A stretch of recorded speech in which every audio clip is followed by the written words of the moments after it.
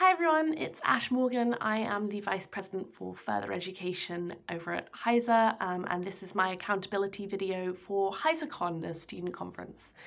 Um, so I'm going to be doing this video a little bit differently to what I thought I was going to be doing. I thought I was going to be doing what I've spent the most time on over the past year, but honestly, I don't think that would be useful to you um, because there's a lot of behind the scenes stuff. It's complicated and you need to work the job full time to understand a lot of the stuff. So I think I'm going to do things a little bit differently and tell you some things that I think have had the biggest impact, the biggest positive impact on students and the stuff that I've enjoyed doing.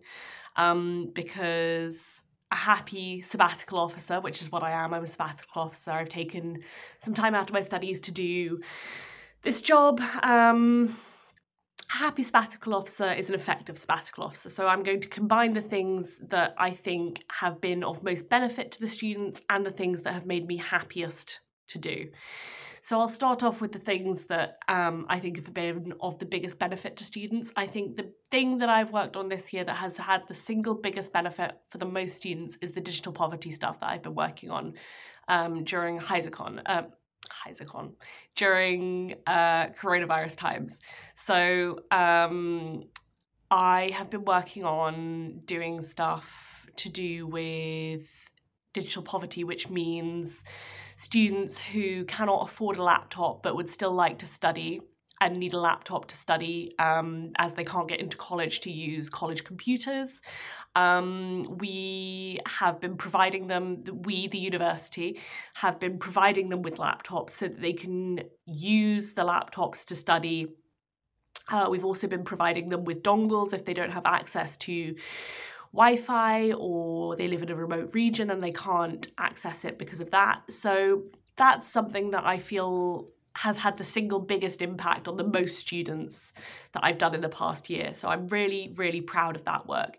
Um, I've also been in talks to make nursing, the um, access to nursing course more accessible. There was some concerns brought up at HISACon last year that it wasn't as accessible as it could be and that um, the entrance requirements or the entrance statement was um, made it seem so that it was less work than it actually was. So I've hopefully rectified that situation, um, and students are now aware that when they sign up to it, it's actually going to be quite quite a big commitment um, because it's a full time course and. It's a, it's a lot of work. I've done access courses in the past and, well, an access course, and it, it was a lot of work. Um, so, Another thing that I've done is just generally helping to steer the ship during the HISA ship, as it were, during uh, coronavirus times. I've helped Flo and Jack, um, who are the president and the vice president for higher education, in as much as I could do. Um, in, in whatever help is in my capacity to give, I've helped them. And again, an effective team is a team that is going to give the most work to the students. So I hope by helping them um, that I've alleviated some of the pressure um, and they've been able to do their jobs better for me helping them. And I know that they've helped me as well. Um, now on to some of the stuff that I'm proudest of, um, or the things that have made me happy to come to work and to do my job.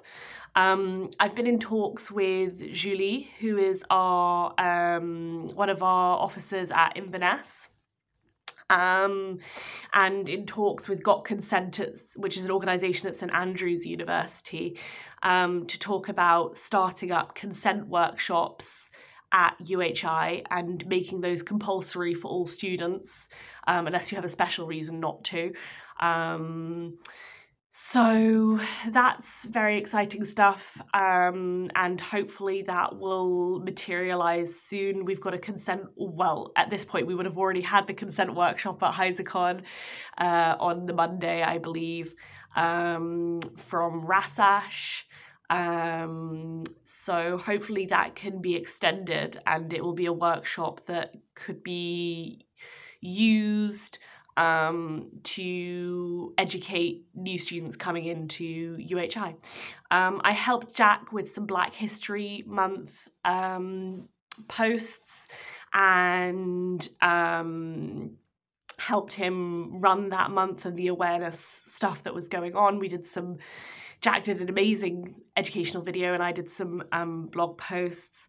Um, I'm currently working on some LGBTQIA plus History Month stuff, which will be coming out next month, so keep your eyes peeled for that. Um, and hopefully some workshops or panels to go with that to make the month a really special event for the community. Um, I wrote a letter to the Chancellor of UHI, who is Princess Anne, uh, to lobby the Queen, who is her mother, to remove Prince Andrew as the Earl of Inverness um, due to his non compliance, um, non helpful stance into the investigation into Jeffrey Epstein. Um, he he hasn't been helping the investigation, and we feel that is grounds for removal uh, of of the title of the Earl of Inverness. Um, and that's sort of some of the stuff that that's a small taste of some of the stuff that I've been up to. Obviously, there's been a lot of stuff uh, that um, I can't. I, I just don't have the time in this video to go over. But um, I'm sure you'll ask lots of questions and anything you want to hear more about, I will be happy to talk about. Um, and my email inbox is always open for questions from students. I am I can be found on my email at hisa.vpfe at uhi.ac.uk. Um, and if you have any questions about any of the work that I'm doing, um, feel free to send me an email or find me on Twitter. Um, and just send questions my way. I would be delighted to talk to any of the students of UHI. Anyway, that's all from me. Thank you very much, and I hope you enjoy the accountability session and the rest of HISACon. All right, bye from me. Bye.